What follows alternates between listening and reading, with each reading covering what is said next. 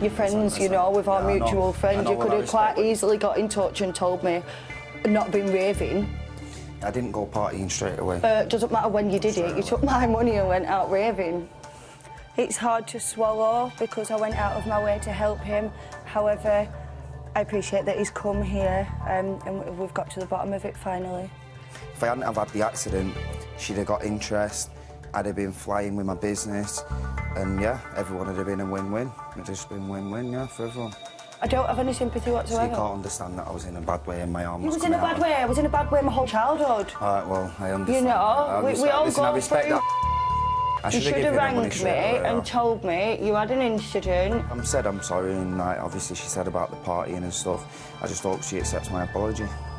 He took the mick, didn't he? Obviously, he thought he could pull the wool over my eyes and go raving with my money. And whatever, it is what it is.